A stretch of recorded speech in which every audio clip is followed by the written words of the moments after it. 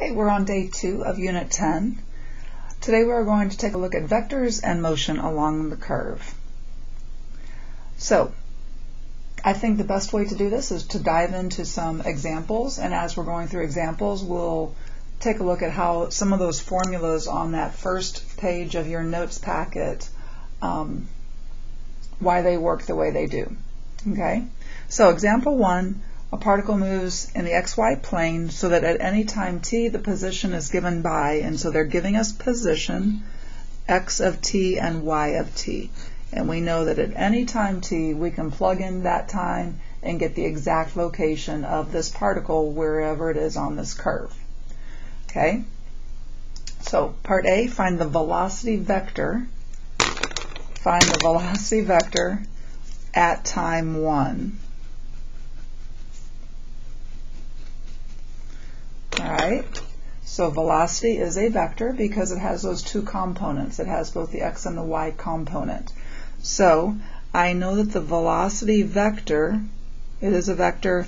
I like to use vector notation when I'm dealing with a vector. Um, I learned it a long, long time ago and it's just stuck and I cannot change that. So I'm going to continue, whenever I'm writing a vector, you'll see me put this little vector notation on top of whatever the vector is. So in this case, it's velocity. I will also use these little vector notation brackets or chevrons. I don't, I'm not sure exactly what they're calling, but what they're called, but little little vector notation brackets instead of parentheses. We use those vector vector parentheses.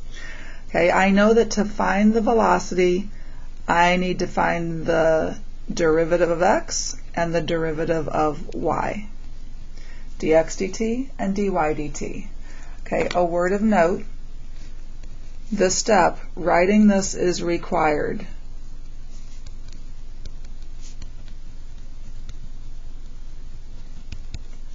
Okay, kids don't want to write that, but you have to if you want full credit. Why? Because AP requires it. So anything that AP is going to require, I'm going to get you used to doing. So go ahead and write that notation say what you're doing to get your next line.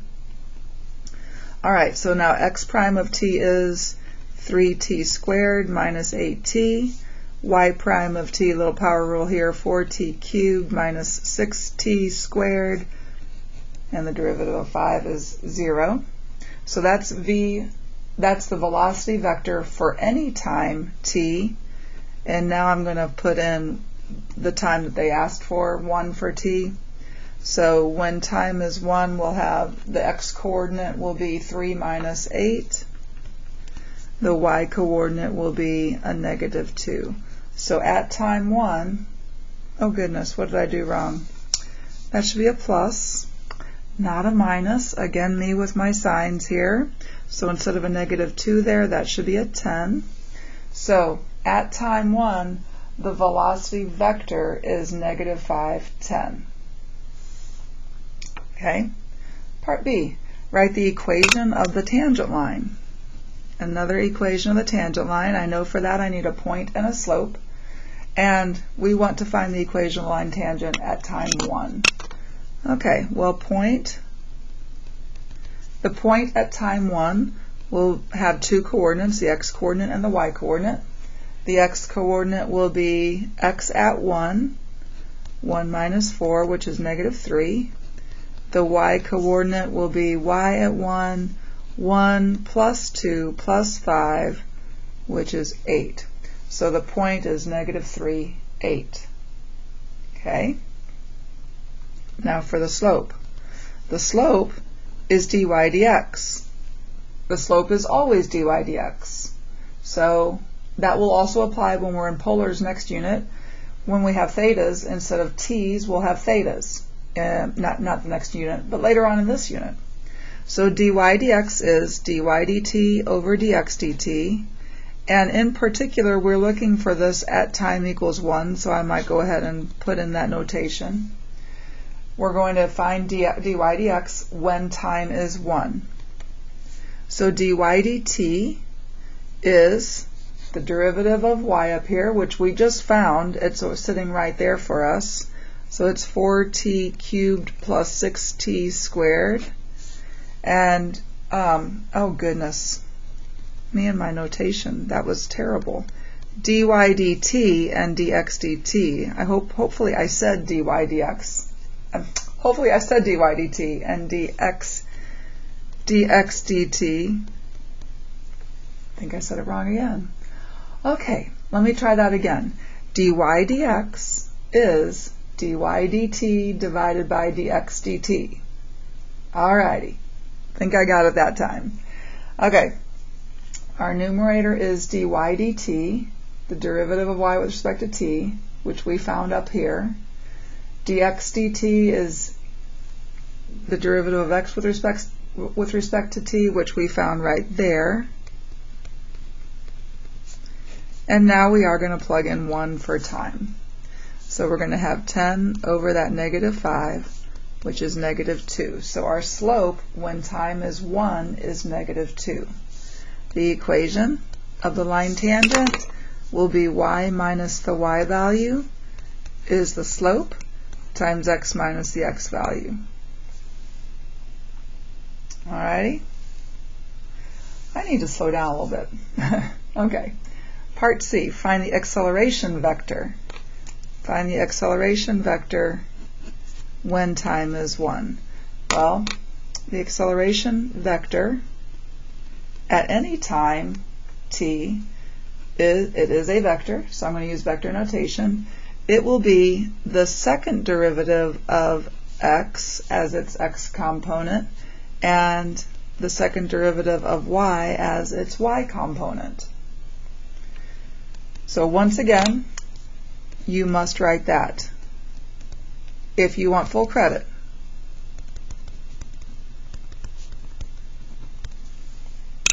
Okay. So now the second derivative of x, I'm going to be up. I'm going to take the derivative of the first derivative of x. So that'll be 6t minus 8. The second derivative of y is the derivative of the first derivative of y. So 12t plus, sorry, 12t squared plus 12t and lastly, we just need to plug in the time that they asked for, time 1, and that'll be a negative 2, 24. So the acceleration vector at time 1 is negative 2, 24. Okay? So not a bad little problem. I need to make sure my notation is correct and I'm saying it correctly. All right, example 2. Particle moves in the xy plane so that at any time t, the position is given by, so once again, they're giving us position. They say that time is greater than zero, greater than or equal to zero, and it just asks for what values of t, so we're looking for time, is the particle at rest. So let's think back to unit four. Unit four, I still have my, what I, I think I still have it. Oh, I already put it away. Okay, in Unit 4, the particle was at rest. Particle is at rest when the velocity is zero, right? When the velocity is zero, the particle is at rest. So, here we are in parametric, we're on a curve. So we want the curve version, the parametric version of the velocity being zero. Okay? Velocity is a vector. So for the velocity to be zero, it doesn't make, really make sense. We want for each component of velocity vector to be zero. So in other words, we want both x prime and y prime to be zero. So I'm going to write that down. The particle is at rest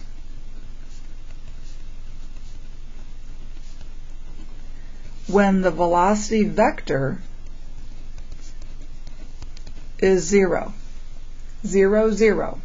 Both components have to be zero for this particle to be at rest. Otherwise, if only one was zero, then the particle can still be moving in the other direction. It can still be moving up or down if the right and left component is zero. Okay? So I need to say what I'm doing. I know that the velocity vector is the vector with the um, whose x component is x prime and whose y component is y prime. You could also write this as dx dt and dy dt. That's fine too. Nothing wrong with that. So x prime at t is, so x prime at t is 6t squared minus 30t plus 36. We want for that to be 0. So I'm going to do a little algebra here. I see there's a 6 in everything. Time to factor. t and t, 3 and 2, minus and minus, we'll get that negative 5 and the positive 6. So t is 2 and 3. So at time 2 and 3, the x component of the velocity vector is 0. Only the x is 0. Now we're going to find when the y component is 0. So y prime of t is 3t squared minus 6t plus 0. Set that equal to 0. There's a 3 in common. Oh, there's t in common too. Me write that again. There's a 3t in common. Okay, so t is either 0 or 2. So at time 0 and 2, the y component of the velocity vector is 0, right? So we need for both the x and the y component to be 0. So at what time does that happen? Well, that only happens when the time is 2. So the particle is at rest.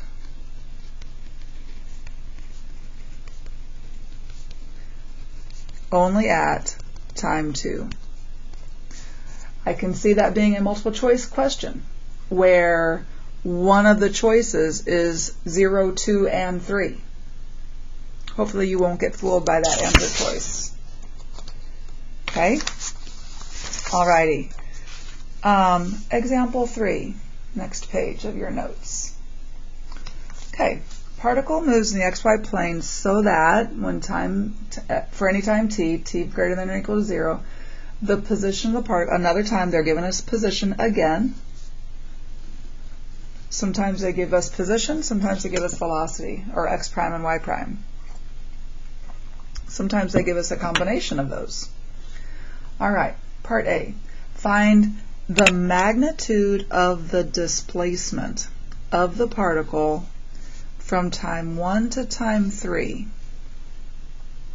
All right. Remember back in Unit 4. In Unit 4, displacement was our ending position minus our initial position, right? We want our ending position minus our initial position. Well, we're not in just horizontal motion. We have horizontal and vertical motion going on on the same the same um, particle. So instead of being right to left and up and down, we're looking something like that. We're starting here and we're ending here.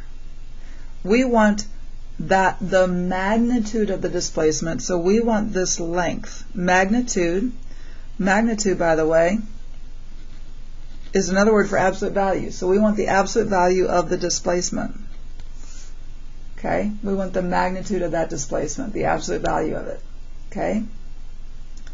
So, in general, we're looking for something like that, that length, that magnitude. Okay? This is going to have both an x and a y component, where this is delta x and this is delta y. So this length, little Pythagorean theorem, this will be delta x squared plus delta y squared under that square root. Little Pythagorean theorem. So the magnitude of displacement is going to be the square root of delta x squared plus delta y squared. That is something that you need to know. Either know how to get it quickly or just know the formula for it, but know it.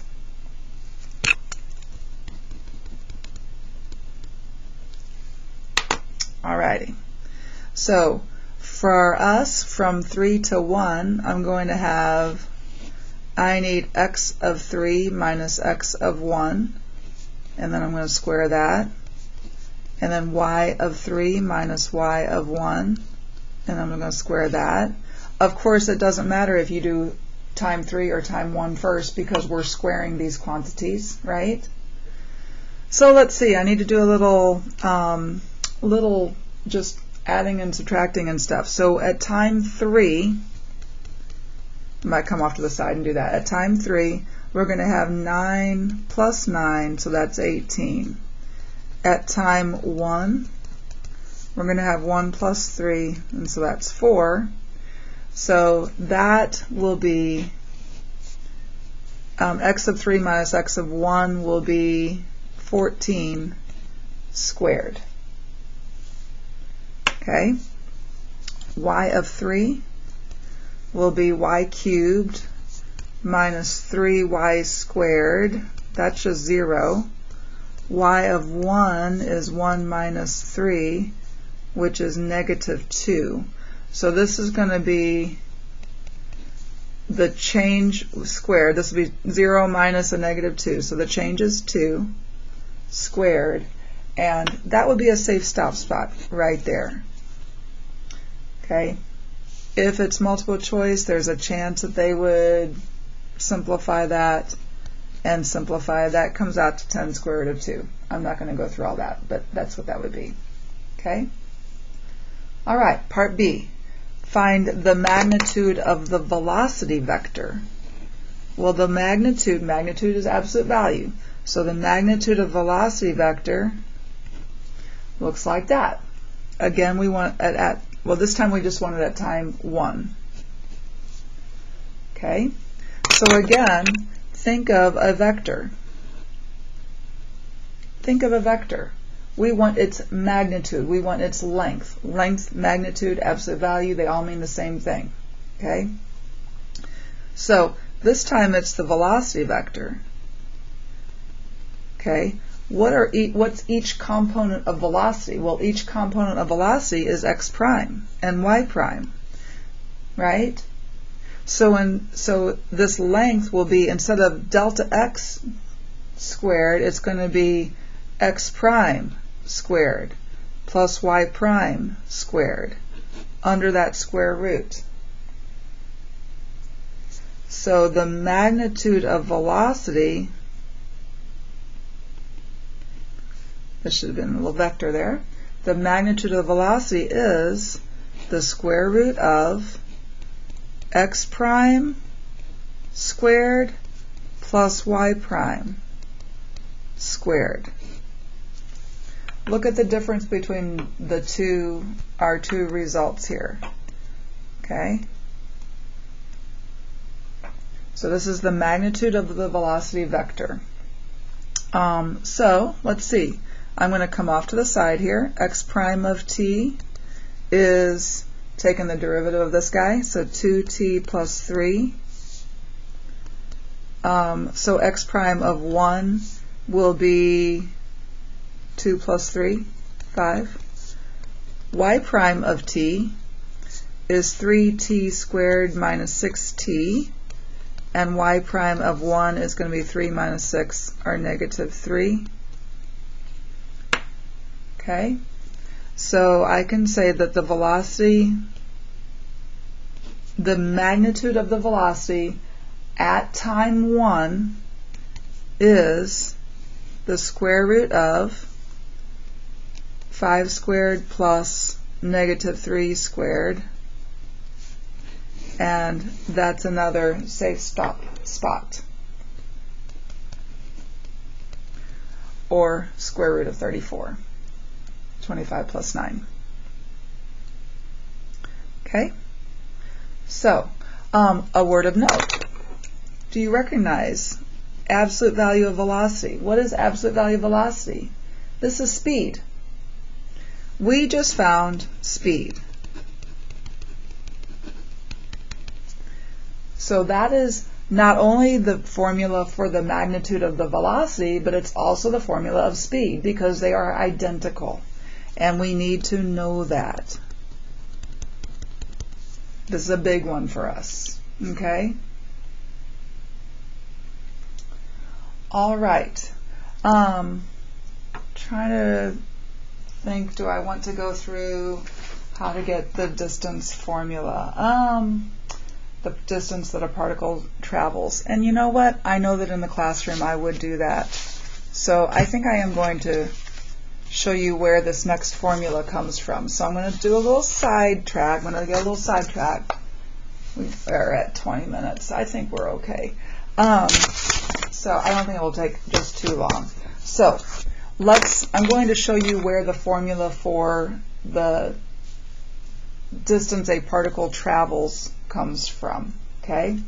So we found back mm, several units ago, back in our, it was at the end of our volume unit, which was unit 7, the, the formula for the length of a curve. The length of a curve from x is equal to a to x is equal to b, the length of that curve is the integral from a to b of the square root of 1 plus dy dx squared dx. That is the length of a curve, right? Well, now we're in parametrics. So y is a function of t, x is a function of t.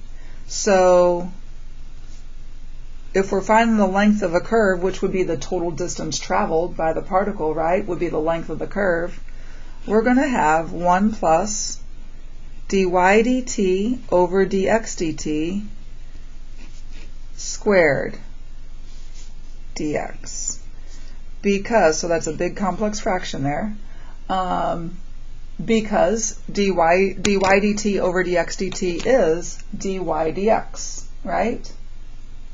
Okay, inside the square root, I'm going to get a common denominator.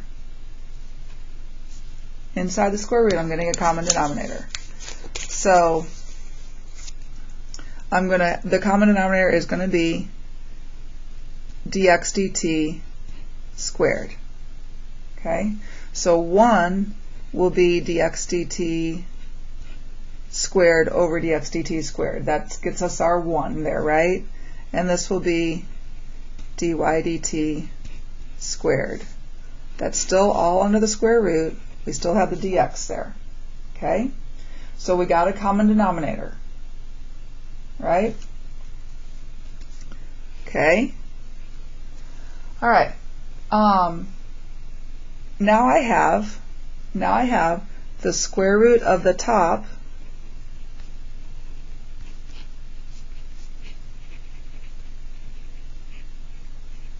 divided by the square root of the bottom. But what is the square root of the bottom? Well, the square root of dx dt squared is just dx dt. Okay? All right, we're almost there. Okay, I'm going instead of dividing by dx dt,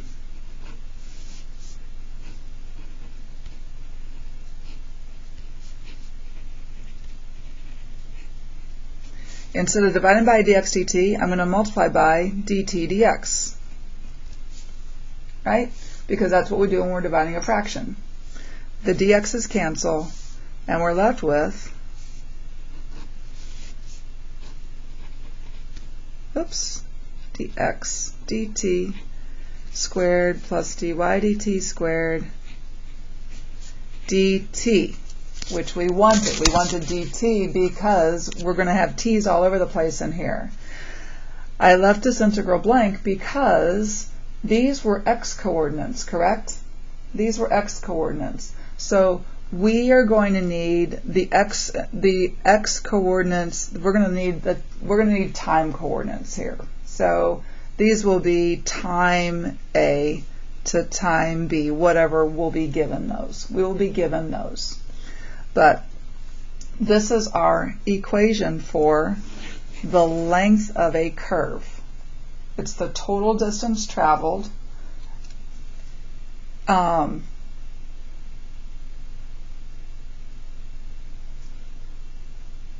Okay? So notice that, notice the inside of this. The inside of that, does that look familiar to you? The square root of the first derivative squared plus the second, sorry, dx dt squared, which is x prime of t squared plus y prime of t squared. We just had that right here for the speed. So another way to write this would be it's the integral from time A to time B of speed. Okay, another way to write that would be the integral of the magnitude of the velocity vector because speed is the magnitude of the velocity vector. So we are going to remember that. Okay, hopefully that didn't take me too long, about five minutes. Okay, let's go back to our notes page. Part C, write but don't evaluate an expression which gives the distance the particle has traveled from time 1 to time 3. Okay?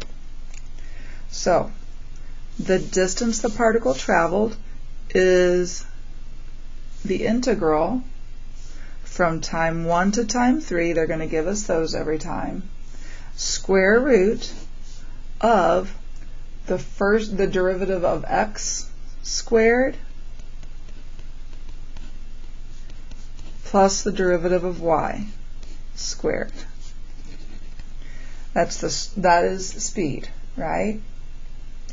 If you prefer to write that as dx dt, do it. dy dt, do it. It's fine. All right. So x prime of t is 2t plus 3. We found that in part B. y prime of t is 3t squared minus 6t, all squared. We don't forget our dt. Okay? So that is, um, that is all we have to do because that said write but don't evaluate. So we're done with that. Okay, number four, last example for the day. A particle moves in the xy plane so that such that its velocity vector is this. So they're giving us x prime and y prime at t.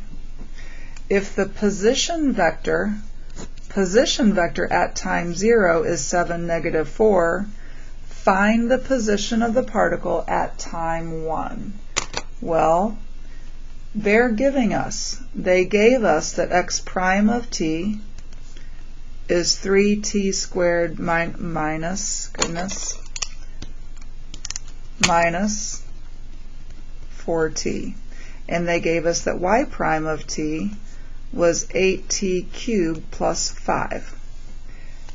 Okay, I need to tell them that if this is an FRQ, I have to say that. They gave me that this was the velocity vector. I have to state that that means x prime is that x coordinate and y prime is that y coordinate. Okay?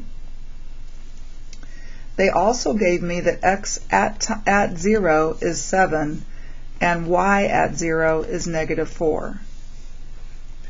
And we want to find the position at time 1 so we want x at 1 and y at 1. So we're going to set up two fundamental theorems. So x at 1 minus x at 0 is the integral from 0 to 1 of x prime and y at 1 minus y at 0 is the integral 0 to 1 of y prime. I've looked at enough AP exams to be able to tell you that you almost always get a point for setting up the fundamental theorem. Okay? So just what I did just now should get me a point. All right. Which means if you don't set it up, you're going to lose a point. So make sure you set it up. Okay, x of 0 is 7. And x prime is 3t squared minus 4t Write our dt here. All right, antiderivative. Um, this will be the the coefficient's just going to be a one. Raise your power by one. This is going to be a 2t squared. We're going to evaluate that from 0 to 1. That was nice of me to give you a 0 and 1 here. So in time 1, we're going to have 1 minus 2, which is a negative 1.